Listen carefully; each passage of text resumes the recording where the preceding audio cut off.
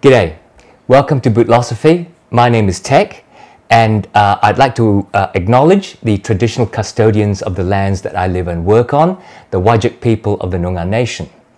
Now, this video is one that's been requested by several people who have commented when I uh, review Moc-toe boots. They asked me which ones are your favorites, uh, which, how do they compare? So let's take a look at that.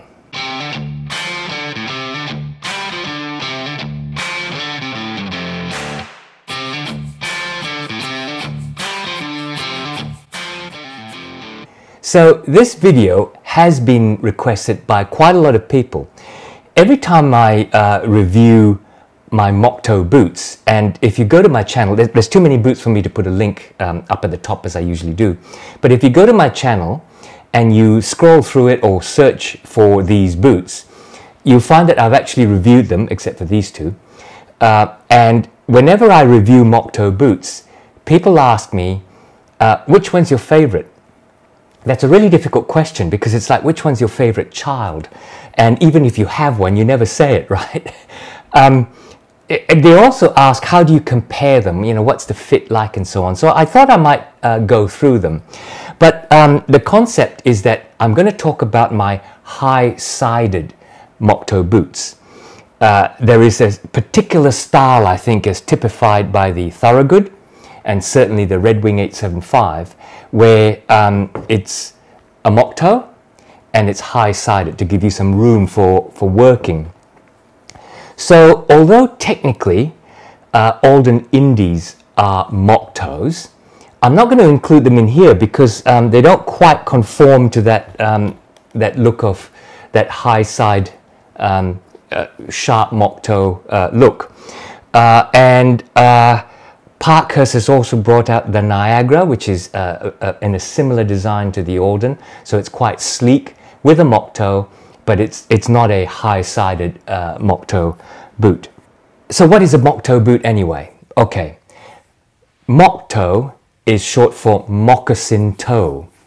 Uh, they really include boots that are designed in such a way that look like original First Nations Americans moccasin shoes where the leather piece that goes around the side actually wraps around the bottom and forms part of the sole and then a vamp piece is sewn on uh, as evidenced by the stitching and then it's stitched okay? So a moc toe boot mimics that design. It's not mock as in M-O-C-K it's mock as in M-O-C short for moccasin. Uh, so they're all typified by having this this stitching across the top of the vamp uh, between the apron piece and the actual side of the boot. Commonly, uh, they are wedge soled. I have no idea why, but that's obviously the initial design from Thorogood that became uh, Americans, uh, America's Boy Scout boot in the 1930s, I think it was, 40s, uh, and typified by the Red Wing 875 and other Red Wing Moc-toe uh, wedge sole models. The kind of card outside the pack is the Grant Stone brass boot, where you can get a, a, a wedge sole, but the one I've got in particular has a commando sole. And by the way, lots of people do convert their Red Wing 875s and other uh, Red Wing wedge soled Moc-toes into commando soles. Uh, Let's take a look at the differences in the design, the materials, the price, and in comfort. And I'll take each of those categories uh, in turn. Um, so if we take a look at the ones in my collection, um, I'll start off from my right. I have these Red Wing 875s in Oro Legacy leather. Then I've got the Grant Stone uh, brass boot in uh, what's called uh, earth, which is a, uh, a, waxy commander wax suede. I've just re-waxed it recently. Um, this one is an interesting one, and I'll talk about that. This is Thursday's Diplomat in the rugged and resilient uh, matte black. This is, uh, if you know your boots, you recognize this, the Thorogood Classic 6-inch moc-toe work boot. And then this is new to my collection. This is also from uh, their field boot, which is, I think, a kind of like a, a, uh, East Coast America hunting boot, but it has that moc toe design and it's got high sides, so I'm including in this video, so sue me. Um, let's take a look at the comparative design. I think if you look at these, the most uh, similar is the Red Wing 875 and the Thorogood 6-inch classic moc toe. You can see, and I'm just going to put one down, you can see that the way they're both designed, here I'll put this in here, you can see the way that they're both designed is that um, they're 6-inch, they have a wedge sole, they have a high-sided uh, side of the uh, uh, toe box area, they have the apron that comes on flat, and they're stitching. Now, I think the Thorogood is not a real moc toe. In other words, that's one piece of leather, but they've crimped it and stitched it. Whereas um, the Red Wing 875 is, I believe, two pieces of leather, being this piece here and the piece that goes around. So that's a real moc toe. Now, there are others who kind of mimic that look. So let's take a look at the um, Thursday Diplomat. You can see the genesis of it, can't you? It's quite similar, except what's happened, of course, is it's been sleeked down to be a little bit more dressy. And definitely, same size, uh, the Diplomat has a little less room in the toe box. You can easily wriggle your toes in both uh, these two um, mock toes. This feels more like a, a standard boot. Uh, extremely comfortable though. And then, of course, you have the variants. The uh, uh, Grant Stone has the vamp piece, this uh, little apron piece, a little bit more inboard with the stitching around the toe there. So you can see how, what I mean by, you know, there's, it, it goes in a little bit more inboard. And as a result, it creates this rounded toe effect as opposed to this almost right angle toe effect there. So there's a design difference other than in fact the outsole. Uh, as for the field boot, as I said, I, I think this is designed like the, uh, the, the, the, state of Maine uh, uh type of hunting boots because it's got this extra protective um, bump piece of leather across the toe. But similar in design, there's the apron piece, there's the sides, high-sided. Uh, talking about comparative materials and construction, um, let's see, they are all Goodyear welted. Um, and if you're not sure what Goodyear welted is, that's this piece of leather that you see on the outside. In all of them, they're 360 degrees, which means they go all the way around the outside of the boot. Uh, the uppers are stitched to the inside uh, through the uh, insole and the outsole is stitched on this outside stitch here through the outsole. You don't see the stitching in wedge sole boots, just have to check, because some, some do, um, because the wedge sole is glued on to a midsole that's had the Goodyear welt stitch gone through. The Thursday Diplomat is a little misleading. It looks at first almost like a stitch down. And I'm not clear whether this is a stitch down or not, where instead of the uppers tucked in and sewn to the inside of the welt and then the welt sewn through the midsole, uh, this looks like the uppers have been splayed out and that splayed out bit stitched into a welt and that's um, a, a, a, stitch down construction. I'd be surprised though because stitch down is uh, tricky and more expensive and for 199 that'd be a hell of a feat if they did that. In terms of uppers, um, we have a, a range uh, starting with this one from uh, Charles F. Stead. It's the Waxy Commander, which is a suede. And ultimately, I think it's probably not as durable as oiled leathers, or chrome tanned and oiled and veg tanned leathers, uh, because it is a suede, it is a split leather. It is covered with a layer of wax to give it some protection. And in fact, as I said earlier, I've, I've just re-waxed this uh, using uh, an otter wax bar uh, and a heat gun to sort of um, let it soak in. Uh, leading on to a chrome tanned leather from Thursday from uh, Tannery, I believe, in Mexico. Uh, it, this is uh, they're rugged and resilient, so it's meant to be, a, I think, a kind of um, corrected uh, grain leather, or possibly a nubuck that's been oiled over uh, to give it some protection.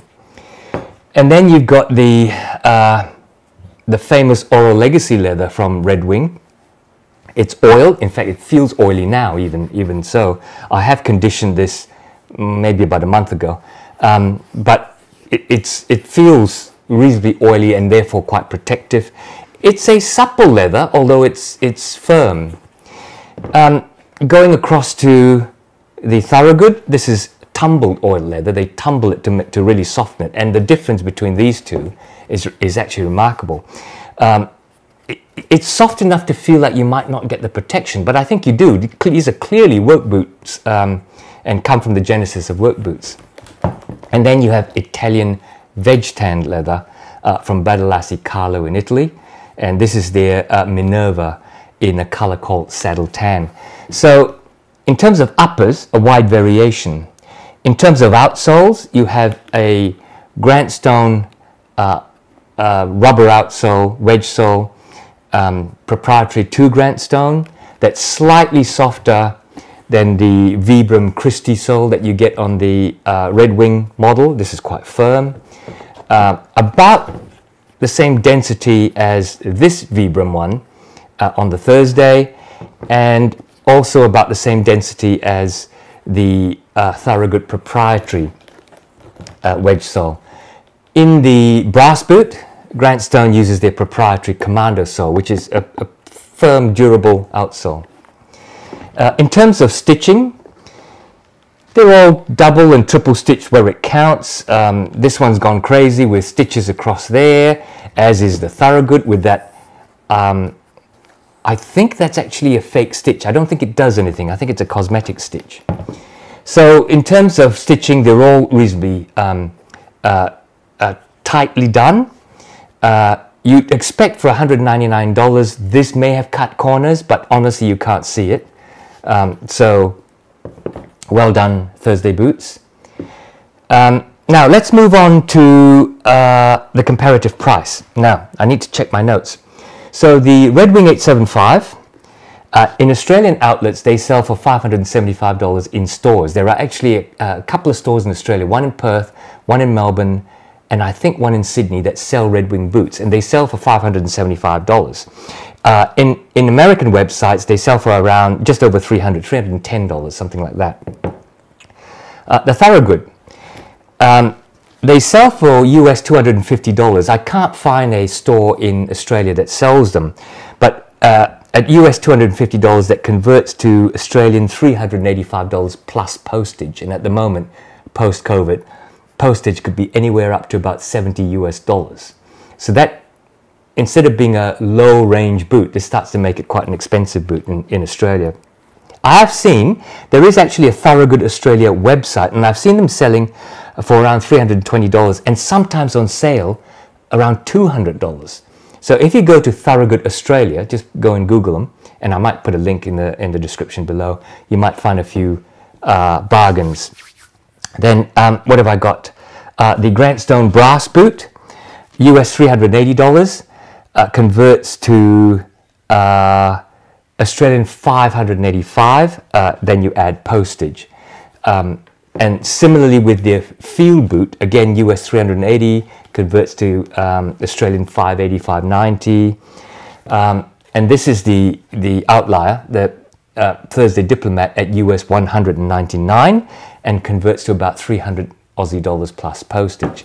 So they all fit within that 200 to 350, 400 range. And depending on make and I suppose comparative quality, um, the values of each are really not that different in terms of the value formula. Um, let's now take a look at comparative comfort. The most comfortable out of these, I think, is the Thursday Diplomat. And that's probably not a surprise to you if you know that um, Thursday uses EVA foam uh, and Poron inside uh, the boot, which means that when you take it out of the box and you slip your, your, your feet in, it's like slipping into a pair of sneakers because EVA and Poron are used in sneakers. Um, the last is reasonably sleek, which means if you're wide footed, you could have a few problems in terms of the ball of the feet. I don't uh, uh, have that problem. This fits me quite well, but it is snug. Then um, I think probably the next most comfortable is the Thorogood.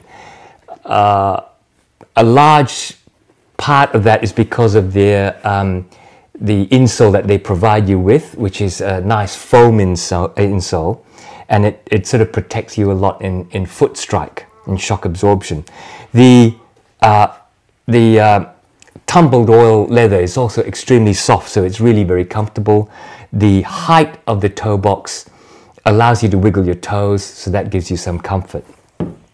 Then uh, the next line in terms of comfort, uh, I think the two uh, Grant Stone boots are very similar. I'll just pick up one.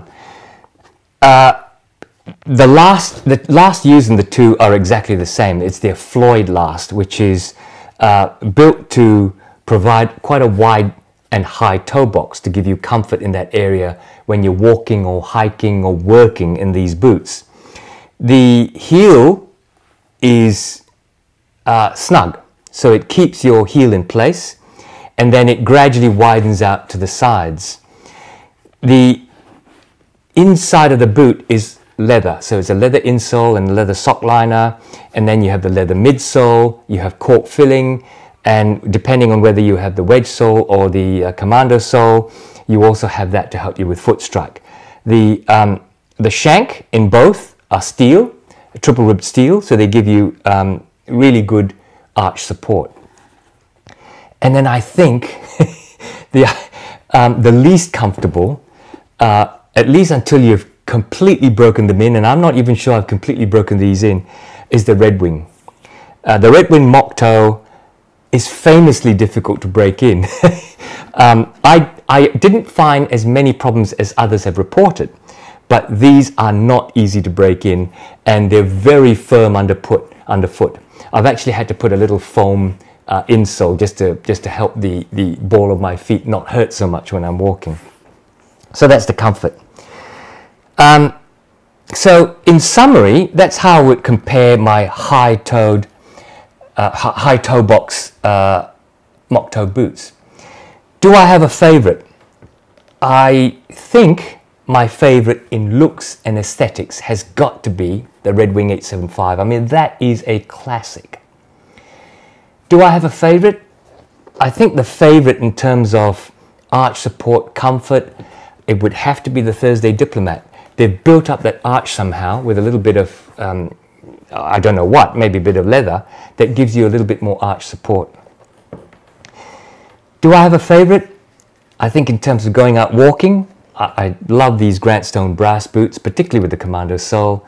They're great for gripping, and I think you can just check out my video where I've gone on hikes in these. So do I have a favorite? Not going to tell you. so I hope you like this little comparison.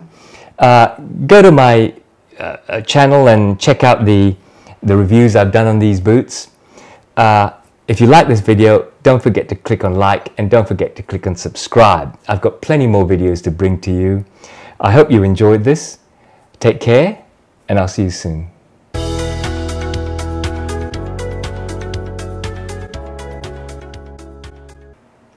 Da da da da da da. Okay.